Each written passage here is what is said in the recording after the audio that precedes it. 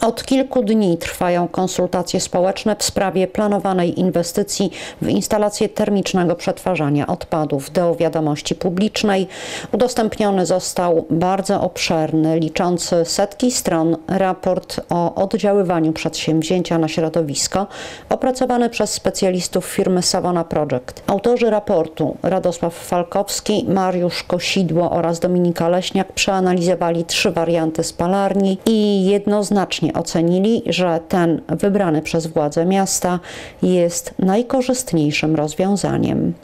Ocena sporządzona przez specjalistów objęła wpływ spalarni między innymi na stan powietrza, wód, na ludzkie zdrowie, na faunę i florę pobliskich obszarów, w tym także tych chronionych. Wnioski płynące z dokumentu pozwalają sądzić, że zarówno w fazie budowy, w fazie eksploatacji, instalacji, a nawet w fazie jej likwidacji nie powstanie istotne zagrożenie dla ludzi lub środowiska. Znacznie poważniejsze skutki niesie rezygnacja z inwestycji.